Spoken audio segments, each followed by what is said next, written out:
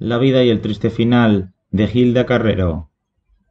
Si Gilda Carrero hubiese nacido en los Estados Unidos, su imagen formaría parte de la industria de la moda. Su belleza sería conocida por la mayoría, como sucede con actrices emblemáticas de la televisión y el cine norteamericanos. Audrey Hepburn, Brigitte Bardot o Elizabeth Montgomery. Pero en Venezuela el olvido es poderoso y cruel con las figuras del espectáculo.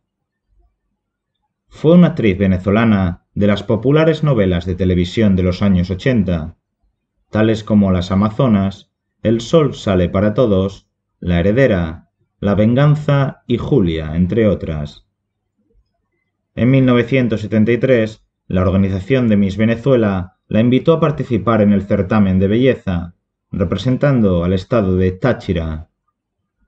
Ganó el cuarto lugar, lo que le permitió representar a Venezuela en el concurso Miss International en Japón, donde quedó entre las 15 mujeres más bellas del mundo. También participó en el Reinado Internacional del Café en 1974, en el que resultó primera finalista. Cursó estudios en la Universidad de Santa María, donde obtuvo el título de licenciada en Administración de Empresas Luego ingresó al mundo del espectáculo. Debutó como actriz en el programa Patrulla 88 de la venezolana de televisión en 1975. Luego ingresó en las filas de Radio Caracas Televisión, realizando pequeños papeles como actriz dramática. Ese mismo año ingresó a Venevisión para representar un papel coprotagonista junto al actor Alberto Marín en la telenovela Emilia de 1979, protagonizada por Eyud Peraza y Eduardo Serrano. Se popularizó con la frase de mi pucci, término con el que se refería en la trama de la telenovela al hombre que amaba. Su primer papel protagonista fue en la telenovela Migaja, en ese mismo año. Por más de diez años formó pareja de televisión con el actor Eduardo Serrano. La pareja junta lograba altos niveles de audiencia. En 1985, la actriz conoció al empresario portugués venezolano Juan Fernández, con quien posteriormente se casaría. Ella, en la cumbre de su carrera artística, decide abandonar su profesión y consagrarse a la vida de matrimonio.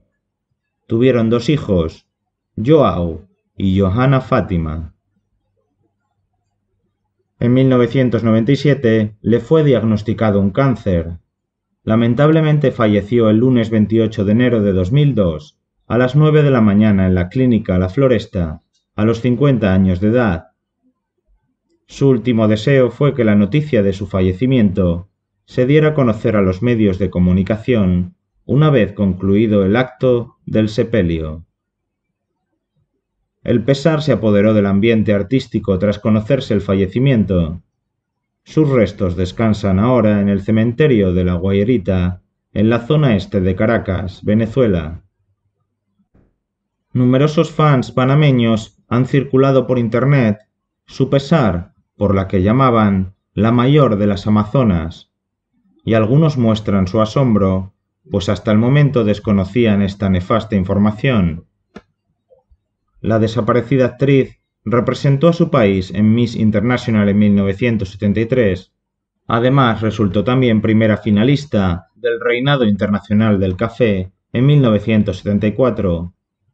Su última aparición en televisión fue en la novela El Sol sale para todos. Aunque la actriz estaba retirada desde 1986, de la actividad artística, profundas manifestaciones de dolor comenzaron apenas se conoció la noticia, sobre todo porque la actriz se caracterizó por ser una gran compañera en escena y buena amiga de sus compañeros de reparto. Gracias por escuchar la historia de la vida de Hilda Carrero. Les deseo a todos buena salud y felicidad y nos vemos en los próximos vídeos.